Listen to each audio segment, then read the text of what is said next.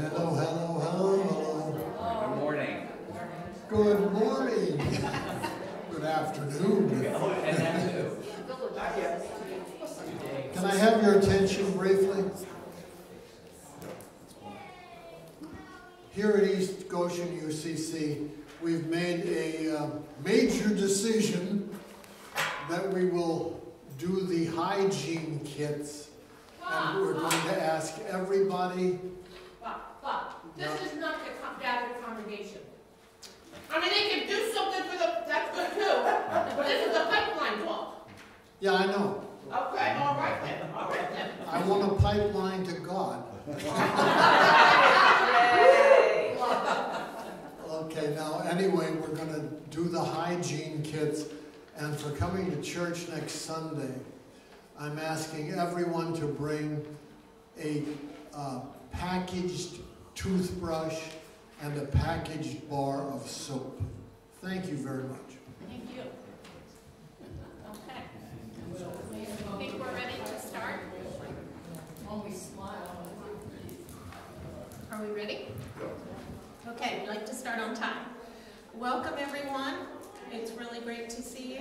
I'm Pam Onyx, and I have the pleasure of introducing George, whom I've gotten to know through this misadventure of the pipeline. There are good benefits that come out of it as well.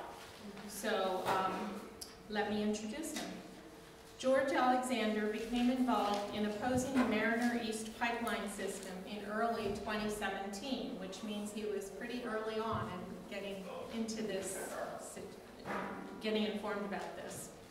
He learned about it from fellow members of the Environmental Working Group of Delaware County Indivisible and was dismayed to hear about the risks to residents, the indifference of politicians, the lack of regulatory review, and the greed of the corporations involved. He felt he had to do what he could to intervene. He became active in pipeline-related groups, including the Middletown Coalition for Pipeline Safety and the Del Chesco Alliance for Pipeline Safety. His background as a journalist covering technology led him to start a blog about the pipeline project, which is called Dragon Pipe Diary. You can find it online, which has become a widely read resource for people concerned about the pipeline. So I want to uh, welcome George and his wife Jan, who are here with us today, and very much look forward to what he has to say. Thank you all for being here. Thank you, Pam. And what Pam didn't say is that uh, she had an important role in the fact that we're here today uh, by deciding to conduct a prayer walk last fall, uh, December, um, based here from this church, and it drew about 35 people, and uh, and was one of the ingredients that led to the group uh, called the Faith Alliance for Pipeline Safety that is sponsoring this talk. Um, on that same day that uh, Pam had that uh, walk here, I did a presentation to my Quaker meeting that uh, was also about this topic. And at a Unitarian church uh, near Media, there was also a film presentation that afternoon on the same topic. And that led me to think, you know, this, there is a faith aspect to this. There's a moral aspect to this pipeline project, and we need to get people engaged. And that was really the, the genesis, at least for me, of this part of the pipeline effort. So, um, I'll be uh, talking to you a little bit in the context of the Faith Alliance for Pipeline Safety, which is a new group, uh, just has only met three times, and we, our website is not ready, but it will be soon, and so this is, um, and this is the first real activity uh, that this group has conducted. But you'll hear about some more about our plans as I go along. Um, it's a spin-off group really from the Del Chesco Alliance for Pipeline Safety, but um, and there's some overlap of membership, but not much, and it's really an independent organization. So what's faith got to do with it? Um, people think of this pipeline as a political issue, as a safety issue, as a regulatory issue, as an issue, uh, a financial or economic issue. But as I thought about it, it became clear to me that it's a moral issue. It has to do with what uh, our responsibility is to our neighbors, what our obligations are to the next generation coming after us, what the ideals of our politicians should be, and how we can encourage that, um, and uh, what role corporations should play in our world. Uh, these are all questions that, while they have uh, legal and political and economic aspects to them, they have a moral dimension, and that's what this organization is about. So let's talk some about this pipeline, um, keeping in mind the, those questions about um, the, the whole moral issue. Um, we'll be talking today about a pipeline that is a result of fracking in the Marcellus Shale. The Marcellus Shale is in the western part of Pennsylvania and the surrounding states. And it had, because of fracking, it has become a huge uh, resource for natural gas. Um, and there is a lot of natural gas infrastructure that brings uh, gas from the Marcellus to various parts of, of the Northeast and Midwest. Um, but I won't be talking about fracking, uh, except in passing, and I won't be talking about natural gas much. I will be talking about byproducts of the fracking process and how they affect us here. So you may have heard that this Mariner pipeline that comes about a little over a mile from here um, carries natural gas liquids. They're called natural gas liquids, but they have no natural gas in them. They're a byproduct of the natural gas production process and a dangerous byproduct. Um, I'll get a little bit more into detail what this material actually is. But for right now, let's just say that it is a problem that natural gas drillers have to deal with, particularly in the Marcellus Shale because that natural gas, that gas is rich in these byproduct gases, uh, not just natural gas. So if you go drilling in the Marcellus, you have to deal with both the natural gas itself and these byproduct gases. Um, so it's a problem, it's a dangerous gas, we'll, uh, a set of gases, we'll learn more about that. And it has no obvious use in western Pennsylvania. However, certain refineries can make use of the, these gases, and particular, particularly ethane, which is the main component of these byproduct gases, to make plastic.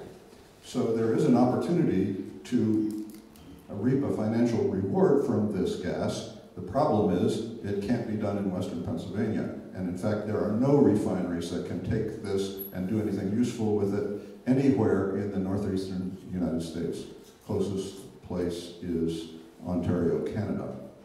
So um, the pipeline companies and, and the uh, drillers are left with the problem what to do with this byproduct. So of course, someone came up with an idea. And in this case, two people. On the left, you have Kelcy Warren. He owns Sunoco and, and Energy Transfer Partners. Uh, he's a a billionaire from Houston, and he builds pipelines. And on the right, you have Jim Ratcliffe. He owns refineries in Europe. Now, he had a problem because his refineries ran on gas from the North Sea, and that and those North Sea fields have been depleted, so the gas is in short supply there. So together they came up with a scheme for getting these by byproducts out of Pennsylvania and uh, to Marcus Hook where they could be loaded on special ships and sent to refineries in Europe. Um, uh, Kelcy Warren organized the process of purchasing Sunoco and reversing one of its pipelines for this purpose. And Jim Ratcliffe organized the, the um, commissioning of eight specialized ships for this. So here's the route.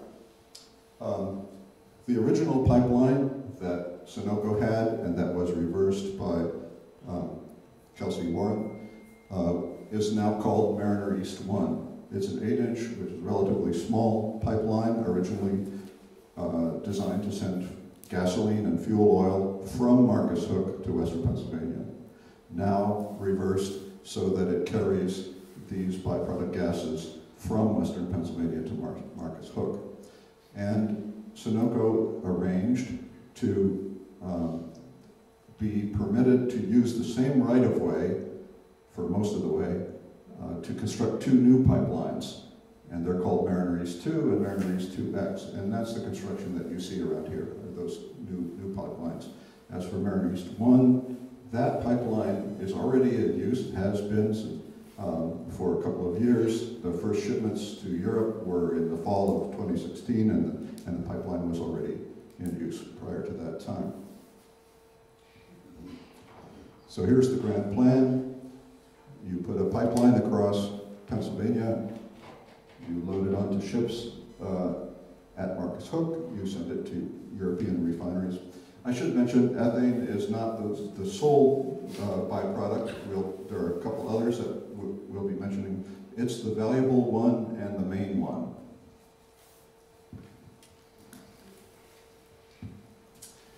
So this is the, the general process that happens immediately in western Pennsylvania. They uh, drill into a zone where there is uh, rock that can be split apart. They get the gas out. The gas comes out as a mix of various gases. At this stage, it's all gas, but if you cool it enough, minus 120 degrees, then some of it becomes liquid.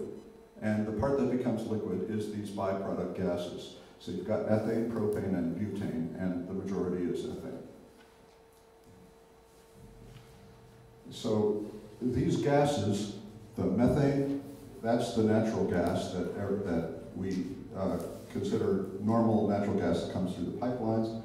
It's lighter than air, and so it dissipates. It has an odor, so you can tell if it's leaking. That's uh, what they're after, really, um, when they do this drilling.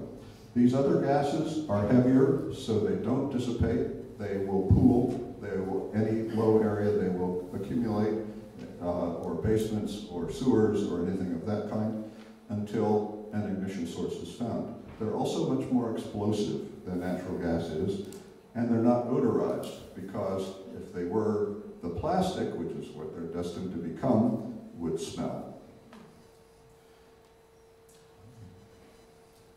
So here's the general process. Starting from the top, you have the well. The raw gas is this mixture of gas that I described. The um, processing plant or separation plant takes the natural gas, the methane, out and puts it in a pipeline. The remaining part is liquefied by being made cold, cold, but then it is also kept liquid by being under high pressure. And for the rest of its life, until it gets to that plastic making process, it has to be kept pressurized. And if it's kept under high pressure, then it remains a liquid. If the pressure, if it leaks out, it becomes a gas again, and a very highly explosive gas. So what will come through this pipe, if it's built uh, down here by Hershey's Mill along Boot Road, um, will be a liquid. It'll be under pre pressure, but if it springs a leak, it becomes an explosive gas. Um, so from the processing plant, they come to Marcus Hook. Then they, uh, the ethane gets exported in special ships designed for that. Goes to a plant called a cracking plant. Uh, in the, the, the, main ones uh, that this is being used for are in Norway and in Scotland. And there it gets converted into ethylene. Ethylene uh, is also a highly volatile gas, but it is useful for making plastic. Most of the common kinds of plastic, polyethylene, polyvinyl chloride, and, um, and uh, polystyrene, which is styrofoam, those are made uh, from ethylene. So it is risky. there haven't been very many, uh, uh, very many leaks or explosions involving this material because there haven't been very many long pipelines for it. Most of the pipelines have been within Texas. There have been a few examples, though, um, and one of them was this explosion in Brenham, Texas. Um, in a rural area, fortunately, it, it killed three people um, after a truck drove into an area where the material had been leaking and, and caused it to ignite and explode. Um, you can get some idea of what could happen in an area like ours, a densely settled area, by looking at the San Bruno explosion from California in, in 2010. That was in a suburb of San Francisco, and um, although it was just natural gas, so it's not nearly as explosive as what we're talking about, it's still, um, there were still eight fatalities and dozens of people were injured. Um, so this is what we're worried about. And this is the area we're in right now. And the yellow area that you see down the lower left is the area that could be affected in the event of a leak and an explosion. So we're, the church we're in is up in the upper right-hand corner there. We're not in the blast zone, but if you know the area, you'll know where the giant supermarket is, or where the Wellington uh, assisted living is, or where the firehouse or the St. Peter and Paul uh, are located along the road. These are all areas that, if there were a leak followed by an explosion, would be subject to the blast. And what that means is uh, very significant uh, structural damage, many structures completely destroyed, and many fatalities. Here's a closer look at uh, part of that area. Um, you can see not only so the, the firehouse and, and the giant and so forth, but also uh, about 60 of the, of the homes in Hershey's Mill are within that zone.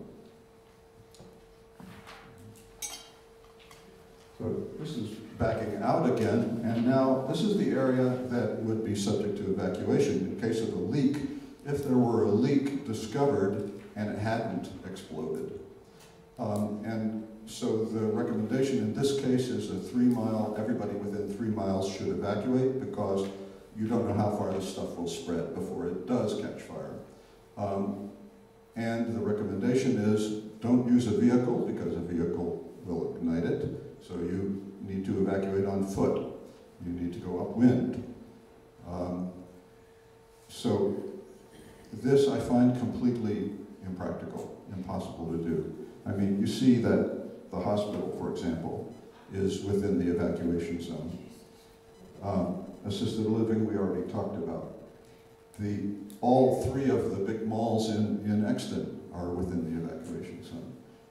Um, it simply is not reasonable to expect an evacuation plan, a practical evacuation plan to be developed based on these requirements. What this says is, we have something coming through this area that has no business being in this area. So as people began to realize what was going on, uh, they began to form groups to oppose it. One of the early ones, and a very influential one, was a group of parents uh, from Glenwood Elementary School in Middletown in Delaware County. Um, and they began pursuing all kinds of avenues to try and stop the pipeline, the, uh, which runs immediately behind their school. Uh, many of the people involved in that early effort, and Pam claimed I was early in, in on this, I was not. A lot of these people were, um, and uh, many of these people have gone on to become very influential um, in a regional and statewide uh, opposition to the pipeline. Another uh, area which has served as a center for opposition is the area of, uh, of downtown Exton because pipeline route goes right through the center of Exton. If you know the Exton Library, it goes within 20 or 30 feet of the library. Um, and the library is a, a favored, uh, beloved landmark in Exton. Families love to go there. And uh, it's a beautiful spot as well. So this is the grounds of the library. If you, the library building itself would be just to the left. You can see a little of its roof there. Um, this area of grass and trees on a nice day, people are out there reading. Um, this would become a construction work site. So those trees would go. Many of the trees connected with the little wetlands that's in the back of this area would go. And um, so there should be a major loss of, of to, to the environment of a place like Exton, which has limited green, green space in the first place. And many others um, throughout our two counties um, are working in opposition to this, to this project. So let's talk a little bit about the construction process. Um, there are two methods by which this uh, pipeline is being constructed.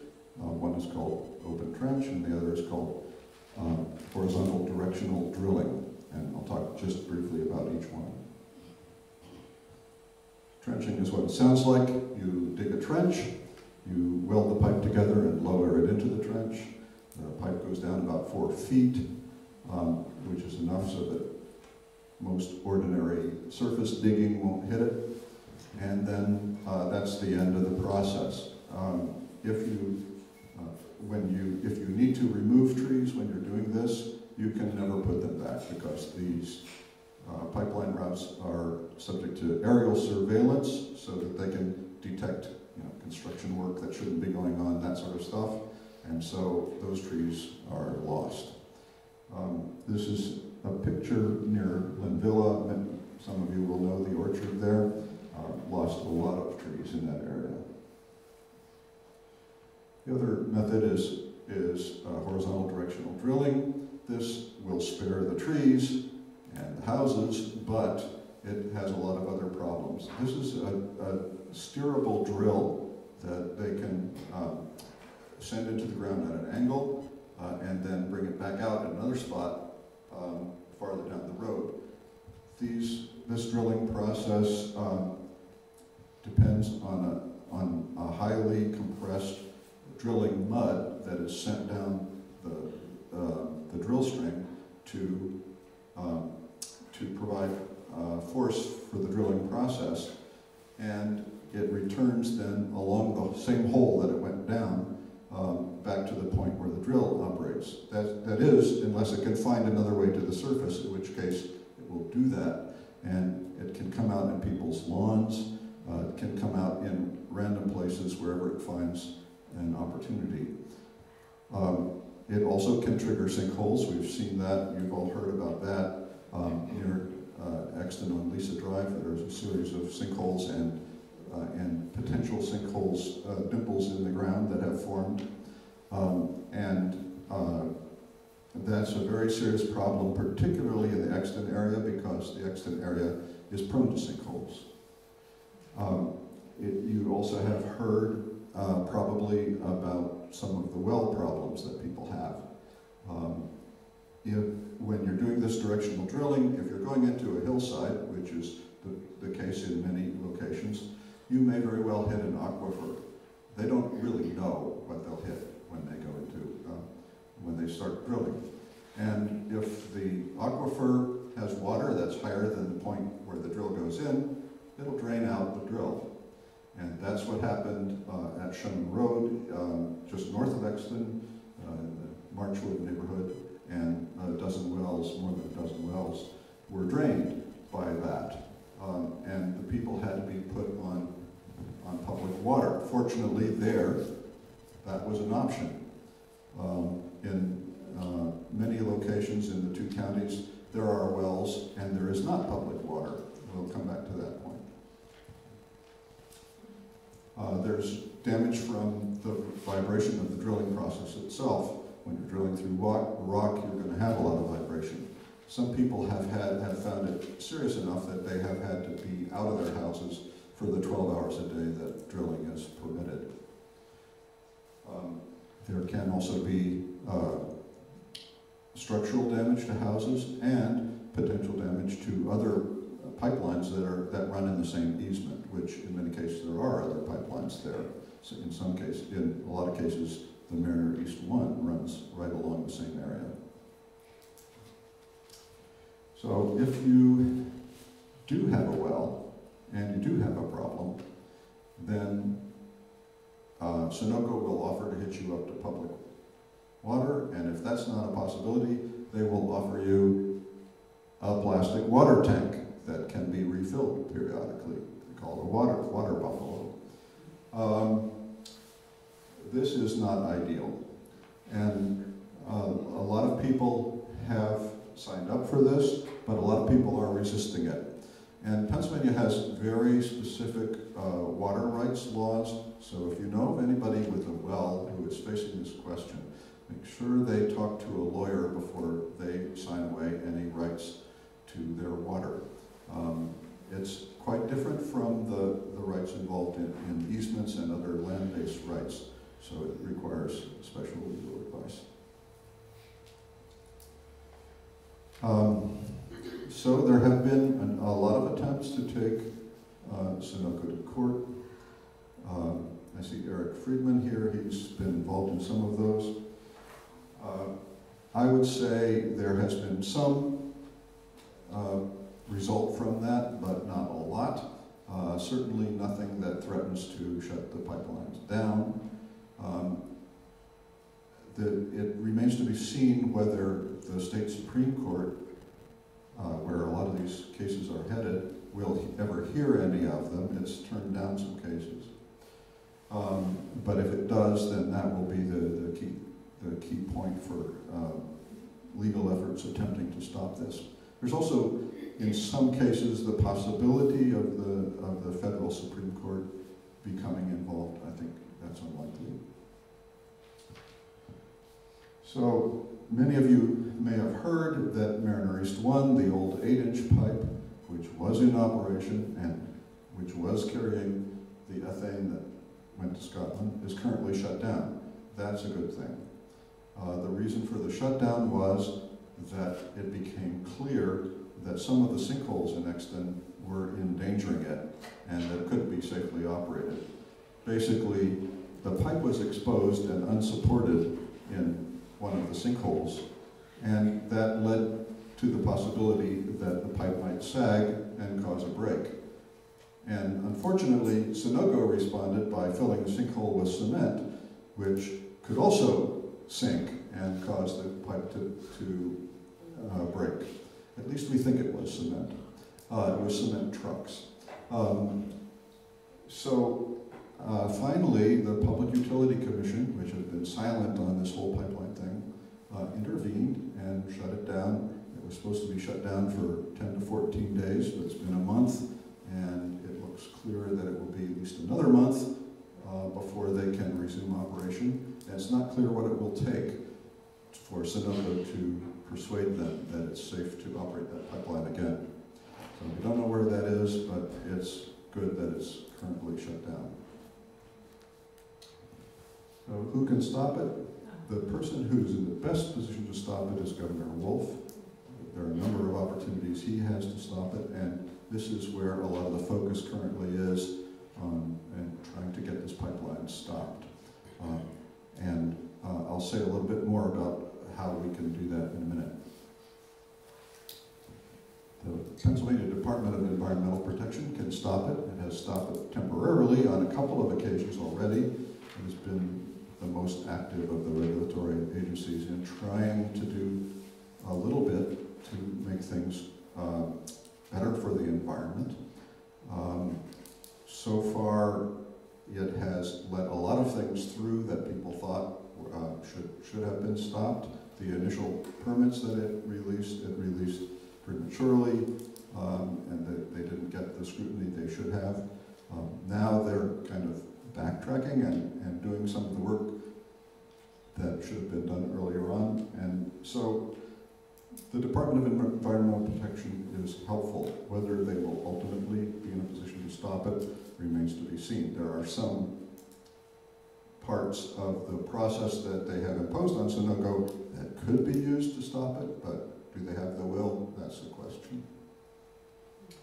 The Public Utility Commission, which stood aside for the, uh, most of the time on this uh, subject, um, although Sunoco acts as if it were a public utility and claims that status, the Public Utility Commission has said that it, this lies outside its jurisdiction.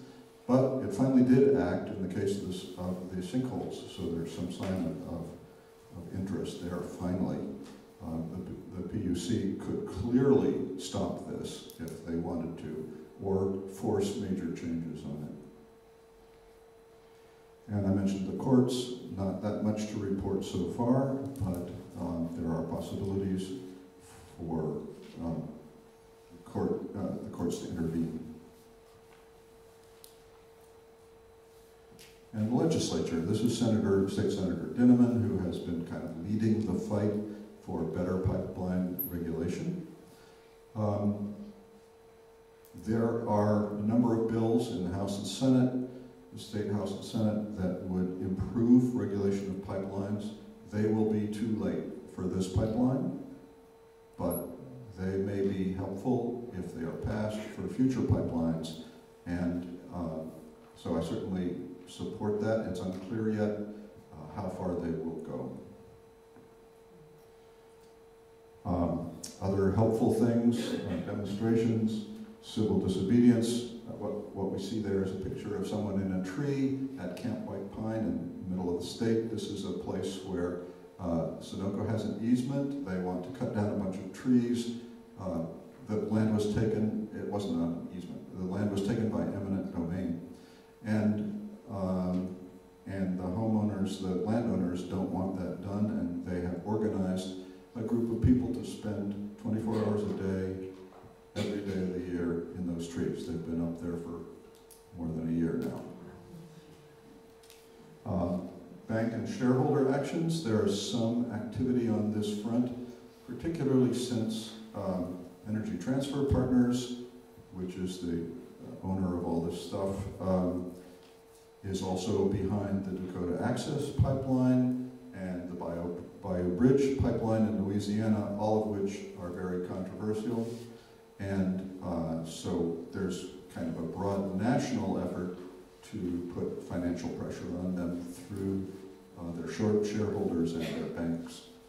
And finally, uh, the, there are changing market factors which may make this pipeline less attractive uh, to Sunoco because there is a glut both of natural gas and of ethane. Uh, certainly in the U.S., the only opportunity to do something with that is export. And it's unclear how big those export markets really are.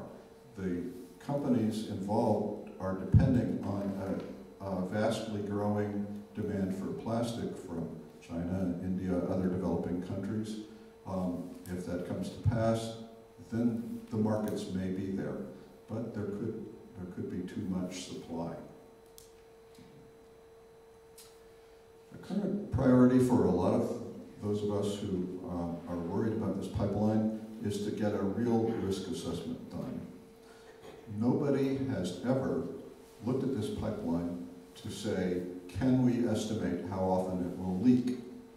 Although there is tons of information out there on pipeline leaks. We, we have information on all kinds of pipelines from all kinds of vendors, including Sunoco's pipelines. Um, and so we know on a per mile basis and a per year basis how often to expect leaks. Nobody has gone through that arithmetic on a formal basis and said, yeah, we can expect this much. And similarly, no one has taken the data about the explosive, explosive nature of this material and what happens when it leaks. And that's pretty well known from a number of uh, incidents, exactly what kinds of things can happen. But if you put if you put those two together, how often does it happen? How much is it? And what is the consequence? Then you have a real risk assessment. Then people can say, oh, that's not bad, that's like uh, getting hit by lightning, you know, on my vacation. Um, or they can say, ah, that's, that's no worse than when I drive home from work. And maybe it isn't. Maybe it is. And maybe there's a level at which it's no longer acceptable. That's what this risk assessment is required to establish. Um, how many problems, how many lives, in what, at what frequency and what likelihood is this pipeline worth? This is a pipeline that has, has no benefit to the people of Pennsylvania except a, few jobs in Marcus Hook. It provides no heat, provides no uh, electricity generating capability. Um, it has no purpose except producing pla plastic in Europe. If there is a risk associated with producing that plastic in Europe, we need to know what the magnitude of that risk is and whether we feel it's worth uh, that cost. So various legislatures, legislators have been uh, pushing to have a risk, risk assessment done, mostly in terms of writing letters to Governor Wolf requ requesting it. Here's a, a list, probably not complete anymore, of many of the, uh, of the legislators that have done that. Most of the ones in this area have. And also the Delaware County Council has sent out a request for proposals for a risk assessment. Exactly where that will go remains to be seen, but it's a good start. And so um, this is an important area for, for trying to get Governor Wolf to move. And electoral politics is starting to make a difference. Um, in the fall, a, a, number of the local uh, races changed things in many of the townships along the pipeline. I picked a few cases here. The Delaware County Council would never have considered a risk assessment with its previous makeup, but it has two new members now that were elected in the fall, and that has made this possible. In Uwchlan, there's a new township board that has decided to change the solicitor. The new solicitor is uh, familiar with environmental problems and willing to take this on, and so we may see something, uh, some legal challenges out of that. Um, West Whiteland, uh, the the uh, head of the Board of Supervisors there was replaced. He was a big friend of Sunoco and also the local fire chief. And um, so uh, that has made a big, cha big change there. And so on in various townships up and down the line. And this will become even more important in the elections coming up. So as you talk to candidates, and as you look at who's running uh, in the primaries coming up next month and in the fall elections, make sure to ask them about their position on the pipeline. Make sure to see whether they feature it prominently in their speeches or on their websites. This could be important. So I feel like the momentum is shifting. When I first got involved with this a year ago, it felt like um, a very slim possibility that we would be able to do anything significant. I would have put the odds at 15% that we would be able to stop this pipeline. Now I feel much better about it. I don't think we've reached 50%, but I think we're a lot higher than 15% now. The momentum is shifting. And I think the more people that become aware of how crazy this pipeline is and how clear-cut an example it is of corporate greed on the one hand versus citizens who get no benefit but bear all the risks on the other hand, the more opposition there will be. And I think you folks are part of that. And I'm hoping that you can spread the word and enlist other people in this battle.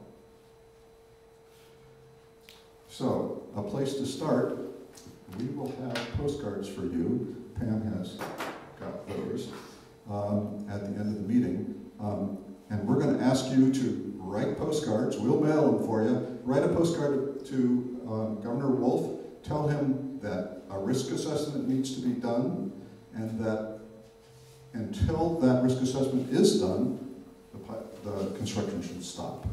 That's what we want you to do. The other thing that we would really love for you to do is if you know people who attend other churches and who are interested in this problem, put them in touch with us. We want to build a network of faith-based groups, churches, mosques, uh, temples, every, every faith that we can connect with, because we think this is, uh, there is no, no religion for which this is not an important moral issue. So tell us, tell us afterwards, either you can talk to um, Pam or Todd in this church, or you can talk to me, and we'll figure out how to get you connected. Jam the, uh, the video camera just up. George, I might ask too, if you did not sign in, we'd love to have you sign in. And if you're comfortable, leave us your email address and we'll keep you informed of, uh, of uh, the the group's activities. Um, and I'd also like you to save the date of May 19th. We are planning a prayer walk in Media on that, that's a Saturday, a Saturday afternoon. Uh, details are still in the process, but um, um, we would love to have as many people as possible. This um, was inspired by the prayer walk that this church organized last fall. Pam did that, and um, we hope to replicate that and even um, get more people than, than were involved the last time. Um, the format is basically you start at a church with a prayer, you go a certain distance, you have another prayer, a little farther, another prayer, each coming from someone representing a different faith. Um, and I think it will be a relatively short walk, but I think it will be an important um, demonstration of people's concern. Oh, that picture over there is from the last prayer walk. So what else can you do? I'll mention a few things. Uh, the handout sheet that you probably picked up, or if you didn't, you still can by the back door, will have contact information for the, these next few things that I talk about here. Uh, there are Facebook groups available, both the, the broader um, Del Chesco uh, United for Pipeline Safety group, and then local groups at various of the townships along the way. Um, and so I encourage you to get involved with one of those groups. Contact local officials. In addition to writing a postcard to Governor Wolf, you can contact him through the web. Uh, you can contact your state senators and representatives and the various regulatory agencies that are involved here. And there's information about that on your handout too. Um, you can support legal challenges. Uh, an important one is the challenge, is the set of challenges that Clean Air Council is leading the way on. They um, are the lead organization for a number of lawsuits that also involve two other environmental groups, the Delaware River Keepers Network and the Mountain Watershed Association. Um, and contact information is on your sheet. And finally, uh, the risk assessment, so the, the one, um, the public risk assessment that Senator Dinner, Dinniman launched and that is being pushed by the Del Chesco Alliance, um, that uh, has a GoFundMe site and that's on your sheet. Uh, that's a great place to help with the uh, risk assessment funding. And you can encourage the Delaware County Council um, by contacting your representatives there if you happen to live in that county. And I don't think they'll check if you happen not to live in the county. And here are some other um, uh, resources, some mentioned on your sheet, some not, but um, I'll just point out that the final one at the bottom, the Dragon Pipe Diary, is a blog that I write, and I encourage everybody to take a look at that. And with that, I'm done. About the interactive map. Okay, so uh, Jan points out um, that at marineries2, 2 dot, the two, marineries2.com, which we got there before Sunoco did, so we got that URL. Um, you can find an interactive map that you can type in an address and see whether it's in the blast zone or the eva- evacuation zone. You can scroll around and, and see what's in the areas. It's a very nice uh, facility for uh, learning where the and who's endangered by it. Um, so, yeah. Yeah, Pam? Just one thing about the postcards. Um, we met as a group, the groups that are involved so far in this alliance of faith organizations. And someone said that if, when we write these postcards, we really shouldn't say we're not gonna vote for you, Governor Wolf. That that's legally perhaps just a little over the edge. So we should say, we will withdraw your support if you wanna say something along those lines. Can you tell us exactly what to write? I mean, I was gonna ask, or give us some info, but just an idea. I think personally that for all of us to put our own heart into our card is an important thing, and if they all look a little different, if they get I a hundred cards, just But I'm just like you're but- just saying, yeah. Yes, Just guidance. what does it mean to you? Okay. What do you hate about this pipeline? What are you fearful of? And what, Governor Wolf, what are you gonna do about this? And I think mentioning uh, the, the need for a risk assessment is an important piece of that. Because I think, so Governor Wolf, in an off-guard moment last fall, said something about, well, I think it would be fine for the PUC to do a risk assessment. He, at- at that time, the PUC had already said that they were not going to do a risk assessment, and he knew that. But still, um, I think he, it's on his radar. Um, and it is the, uh, a very important piece of information that's missing. So I think mentioning the need for a risk, risk assessment is important. And I think it's a good opportunity to say, while you're doing that, don't allow construction to continue.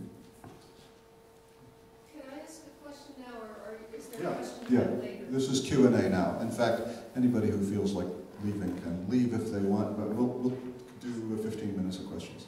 Okay, if, if this group is not part of the PUC, how can they claim eminent domain? So, Right. That's a very good question. And um, so they, they have what they call certificates of convenience, which is what the PUC issues to public utilities. Those date from the 1930s when the pipeline, the old pipeline, was indeed viewed as a public utility, probably was a public utility in, by anybody's standard. But they have hung on to that and have extended it to apply to the new pipelines as well. And the PUC is letting them get away with that. So I guess, you know, um, the PUC has not stopped them from claiming that, and they have been able to make it uh, stick in the courts, um, but it's very dubious. Hi, I'm Chris. Um, When we're writing postcards or contacting the legislators, just as in disciplining a child, it's good to ask for what you want uh, to see happen.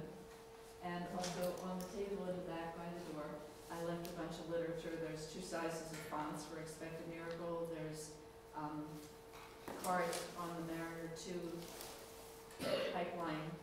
Uh, It's a set of videos that um, Hugh Brownstone has filmed, so there's links to that, please spread them, take as many as you want. There's also a list of legislators, so you have their name, phone number, and it's a great thing to put, uh, you know, so that you can email, good thing to put it in your contact list, so that you can just uh, send a s- speed dial phone message, or, you know, have it at the ready for when, you- if you want to send an email. Great, Which is thank you. very effective, they count them, I understand. And I think uh, people who, who are interested in the uh, effect on the ground of this whole construction process should check out the uh, videos um, that Hugh Brownstone has done. Uh, If you, if you uh, go on YouTube and and look for Mariner East Two, you'll find them. And uh, there's about 20 of them now. Uh, and almost everybody who uh, is uh, really active in opposition has been interviewed, and many landowners and, and homeowners who are affected um, have been interviewed as well. A very well done series of short